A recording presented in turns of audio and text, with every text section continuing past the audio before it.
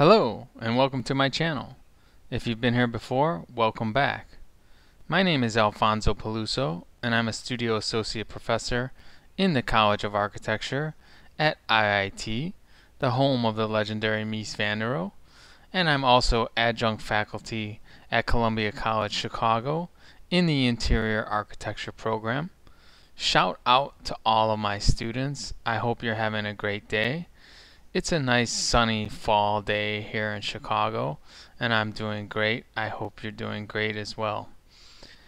It's been a while since I've made a Revit video, and I'm pretty excited about making a series of Revit videos. And some of you, some of my students might know that I have a love-hate relationship with Revit. With Rhino, I have a love. I'm in love with Rhino, but with Revit, I love some of the things that it does and I hate some of the other things that it does. So I have a love-hate relationship with Revit. Before we jump into the tutorial, if you have not subscribed, please search me up on Google, Alphonso Peluso, YouTube, and go ahead and click on the red subscribe bar and click on the bell to receive all of the notifications if you are an architecture or interior architecture student or professional, there is something here for you on this channel. Looking to get to 7,000 subscribers soon, that will be great.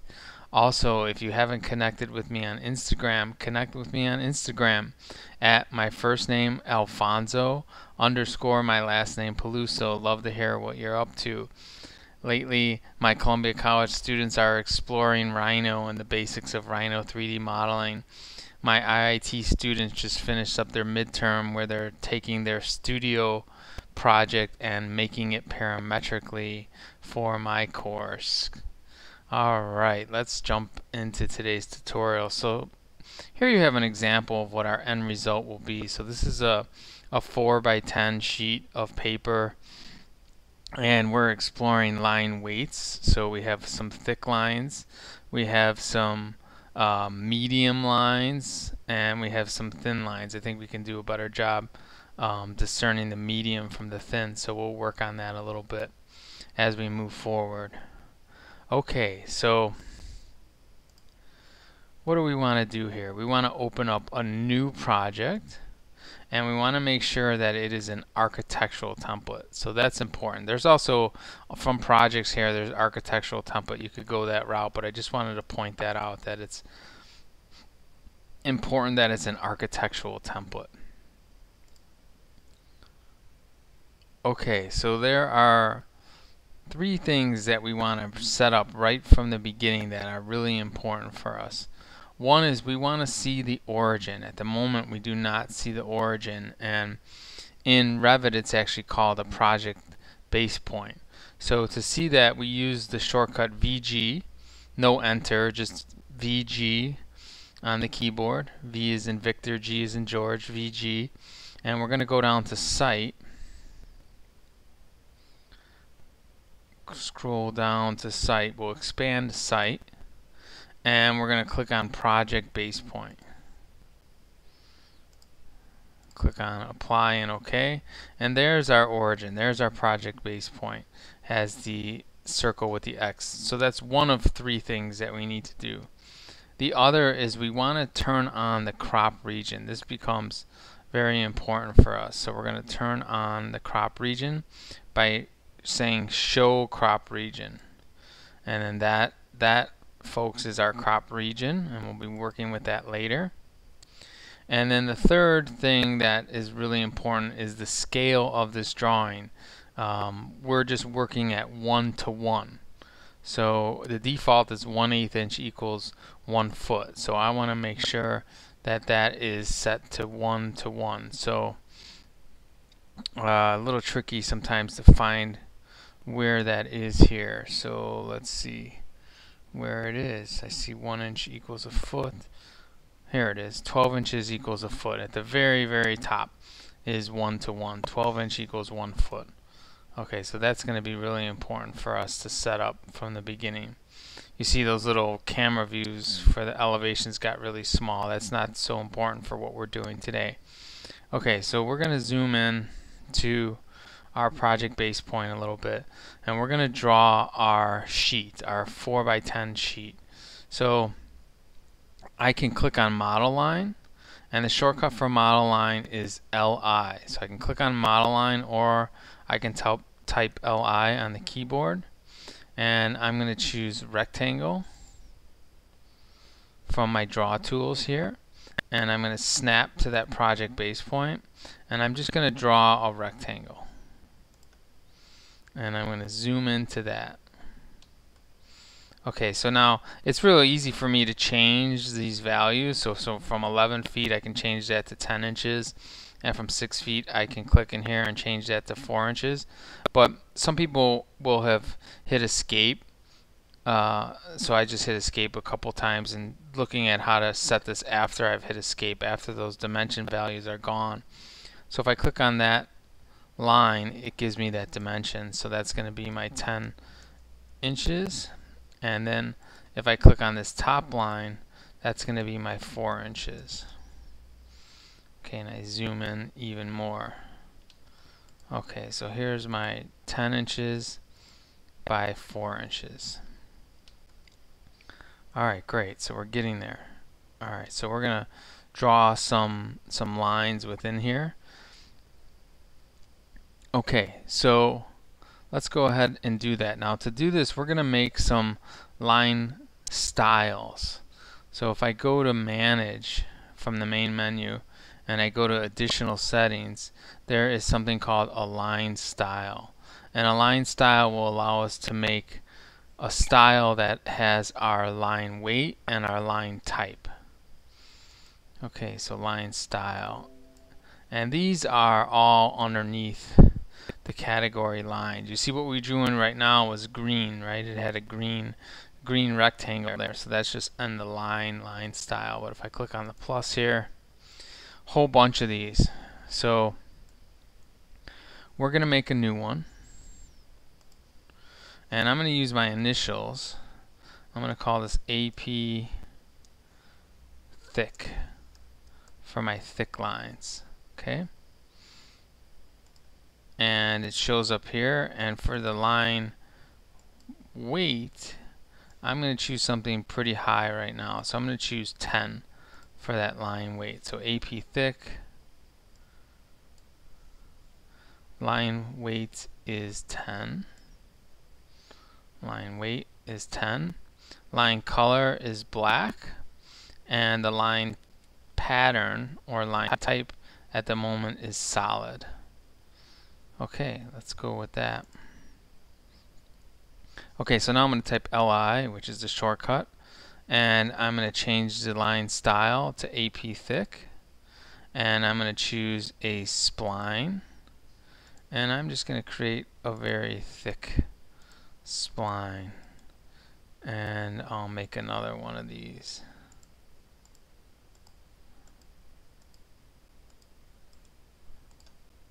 okay so you see that that line weight is really showing up so how do I adjust the line weight I can go back to manage additional settings and I can go to line styles and click on the plus and go down to where my AP thick. I'm going to make this window if it lets me. Nope, it's not letting me make it smaller. So AP thick. I'm going to change AP thick.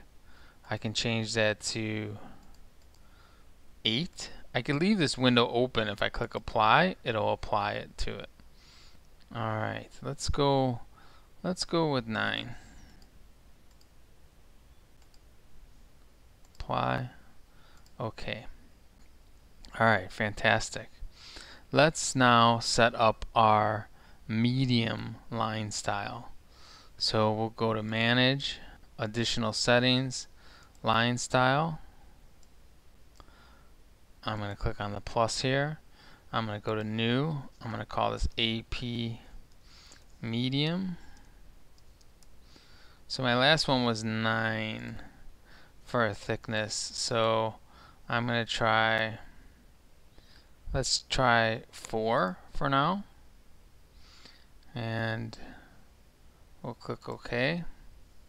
And I'm going to type LI as the shortcut. And I'm going to change the line style to AP medium. And I'm going to draw a couple lines. So it's definitely a lot thinner than the thick, but I need to see how that's going to compare to the thin. Okay, I might have to beef beef the medium up a little bit. I'm going to draw a circle. Alright, so some of you might be wondering, okay, how do I trim? How do I trim this? Okay, so if we go to modify, there's a few different trims, but the second one is trim extend single element.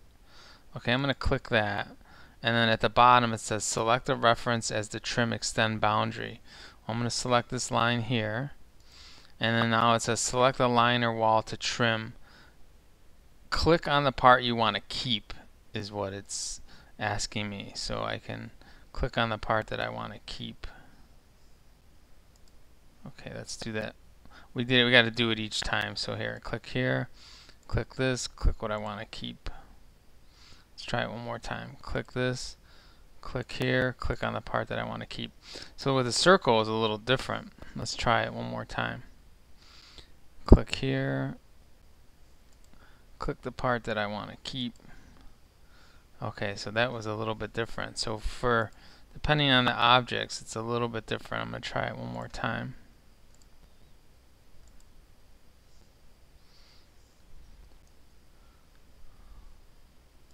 See here's where here's my love-hate relationship now. You're starting to see my love-hate relationship with with Revit because it doesn't want to trim it the way that I want it to. The other thing to note is that you can't trim the splines. So don't beat yourself up trying to trim the splines. Um, and we're going to be cropping these anyway. So you'll see our crop will also be our trim. I got to try this one more time. Okay. Select a reference as a trim extend boundary. That's this. Select the line or wall to trim. Click on the part you want to keep is is what this says. Alright, I want to keep this part of it. But when I click on that it trims that away. Pretty frustrating.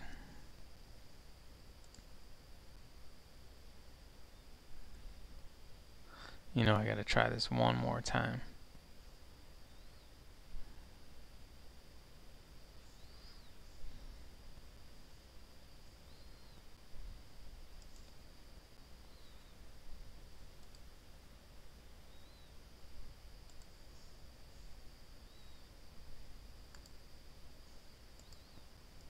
that wasn't it. Alright, well, we're going to trim this a different way later. Okay, sorry about that. Alright, I can tell that I'm going to have to make these lines a little bit thicker, so uh, let's go ahead and do that. We'll go to Manage, we'll go to Additional Settings, we'll go to Line Styles, we'll go down to AP Medium, and we'll make AP Medium, let's try a 5 apply. Alright, let's go with that.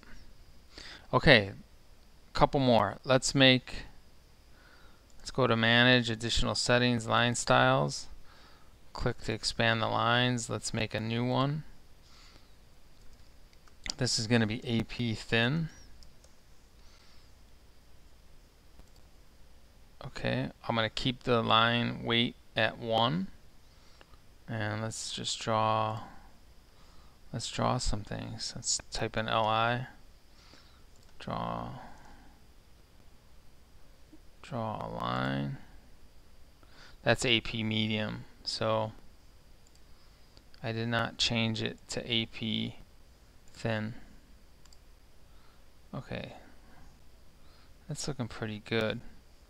Let's try this again. Li Let's draw a spline.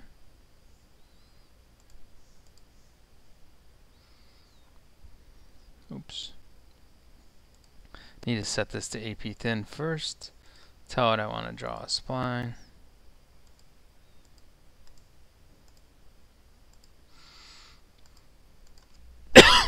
Excuse me. Alright. Now, lastly, I want to look at line types. We have not looked at line types. Very simple to do that. We'll go to Manage, we'll go to Additional Settings, we'll go to Line Styles. Click on our lines. I'm going to make a new one. This one's going to be AP Thin. I'm going to call it Dashed. Okay, AP Thin Dashed. Okay, so it's a thin. I'm going to leave it at 1. Line color is still going to be black, but instead of solid I'm going to choose dashed and I have dash 1 16th dash 1 8 those will get bigger dash 3 32nd it'll get bigger um, I don't know why there's two dash 3 30 seconds but I'm going to choose dash 1 16th okay type in my shortcut LI make this AP thin dashed and let's draw. Alright so there you see some dashed dashed lines. You know I'm still bothered that I can't trim that circle but I'm gonna stay away because I spent enough time messing around with that. Okay so let's make let's make another drawing because I know I'm asking my Columbia students to make four different drawings. So I'm just gonna they're not allowed to just copy paste this down but I'm just gonna copy and paste this. I can't I can't copy the project base point. It'll give me it'll give me an error if I try to do that. So let's try this again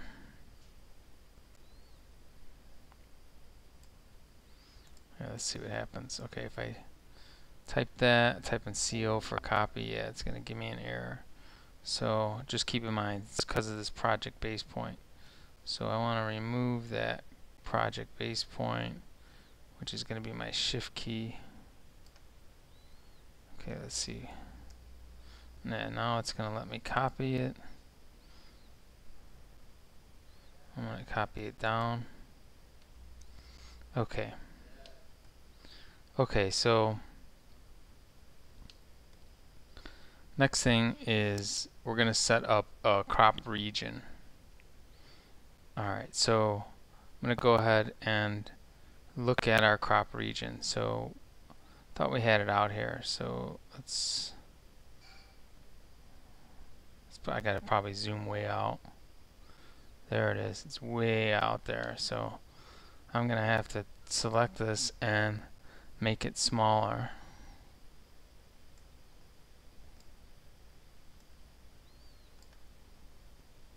and what I want to what I want to do is I want to make it the size of the 4x10 drawing alright so I'm going to make it a lot smaller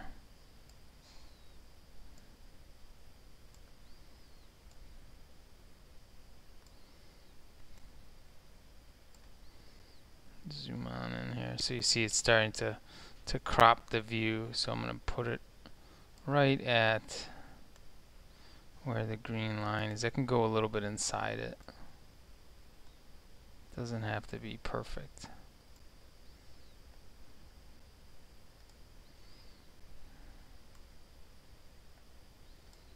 Okay, so that's cropping it. Now we're going to print. Okay, alright, so we're going to go ahead and print this. So we're going to go to File, Print and we want visible portion of current window. Pretty sure that's what we want. Visible portion of current window. Now, if I go to making sure that this is Adobe PDF, if I go to properties, this looks the same as it always has or always does, depending on, or it doesn't matter what software you're in. So we looked at making uh, 4 by 10 sheets before so the same way you've made 4 by 10 sheets and for those of you looking to make a 4 by 10 or a custom sheet, I'll put a link to custom sheets in Adobe Acrobat just by going to, you know, add and making a custom paper size there. Okay, so there's the 4 by 10. there is a preview. Okay, that preview doesn't look doesn't look right to me. It looks 4 by 10, but the drawing that's fitting in it is not 4 by 10. So let's let's troubleshoot this. We have this at 12 inch equals 1 foot. Let's ah, I know why. Okay, so let's go to File, Print, not visible portion of current window. That's what it was showing us. This needs to be current window. Okay, I'm glad that I make these mistakes because I'm sure that you guys will make these mistakes at home as well. So it's better to enforce that. So that needs to be current window. Let's do a preview on that. Alright, that looks right. Alright, so I can I could just print that. Let's see what happens when we print this.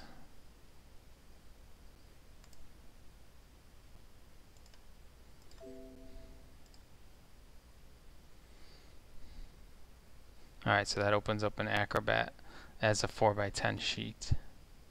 So you see there's some adjustments I would go in and make and uh, probably make my crop window a little bit bigger.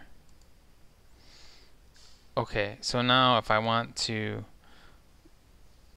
print the drawing that's below it, I just move my crop window down and line it up with the other drawing.